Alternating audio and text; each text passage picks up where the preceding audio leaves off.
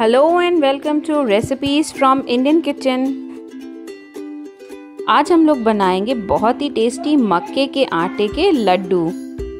चलिए झटपट स्टार्ट करते हैं बनाना अपने मक्के के आटे के लड्डू। उसके लिए यहाँ मैंने एक बड़ा कप मक्के का आटा ले लिया है और साथ में मैंने एक चौथाई कप बेसन ले लिया है। ये दरदरा बेसन है जो कि इस्तेमाल होता है लड्डू बनाने के लिए ही। अब इन्हें हमें भूनना है। भूनने के लिए कढ़ाई में मैंने एक टेबलस्पून घी गर्म किया है। ये घर का बना हुआ शुद्ध देसी घी है। और सबसे पहले हम भूनेंगे इसमें अपना मक्के का आटा। फिर दोबारा घी डाल करके हम भूनेंगे बेसन। ये देखिए, घी के गर्म होते ही हम इसमें अपना एक बड़ा कप मक्के का आटा जो मैंने लिया है, ये डालेंगे। और अब इसे बिल्कुल अच्छे से चम्मच की सहायता से दबाते हुए हम भून लेंगे। ताकि कोई लम्स ना पड़े। बेसन और मक्के का आटा दोनों साथ में डालने पे लम्स पड़ जाते हैं, जो कि जल्दी टूटते नहीं हैं। इसीलिए हम इसे दो तरीके से भूनेंगे। पहले मक्के के आटे को देखिए, हमने भून लिया है दो से तीन मिनट तक। अब दो से तीन मिनट होने के बाद इस मक्के के आटे को हम कढ़ाई के किनारों पर करेंगे, बीच में जगह बनाएँगे। इस जगह में हम फिर से घी डालेंगे। इस बार घी एक छोटा चम्मच के ही मैंने इस्तेमाल की है। एक छोटा चम्मच हम इस बीच में की जगह में घी डालेंगे। घी के थोड़ा गर्म होते ही हम इसमें अब अपना बेसन ऐड करेंगे। एक साथ हम अपने मक्के के आटे और बेसन को नहीं भूनेंगे। हम इसे दो बार में भूनेंगे। इस तरीके से घी गर्म होते ही अब हम बीच में अपना एक चौथाई कप बेसन जो मैंने लिया है वो भी डालेंगे।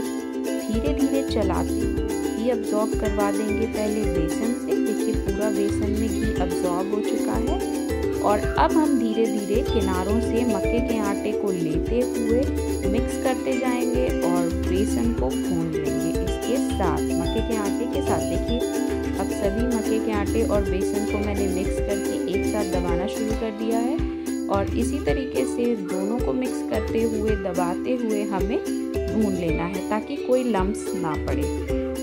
इसीलिए इस तरीके से खींच खींच कर चम्मच को हमें इसे भून लेना है। हमें इसमें घी इतना रखना है कि देखिए इस तरीके से ये एक साथ गुटलियाँ जैसी बनने लगे।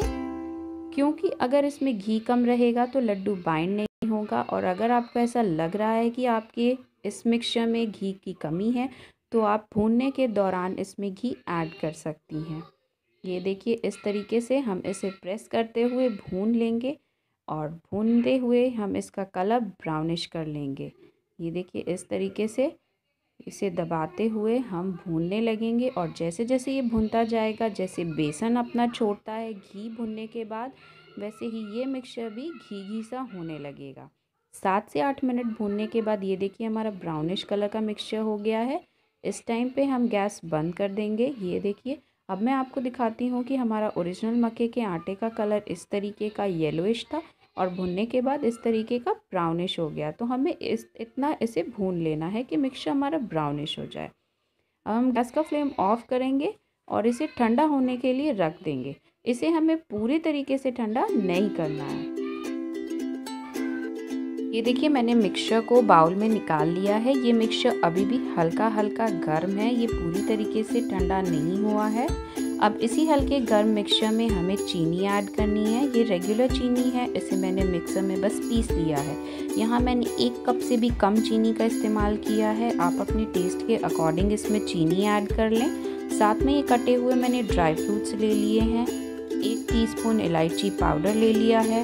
एक चौथाई टीस्पून दालचीनी पाउडर दालचीनी पाउडर बहुत ही अच्छा फ्लेवर देता है।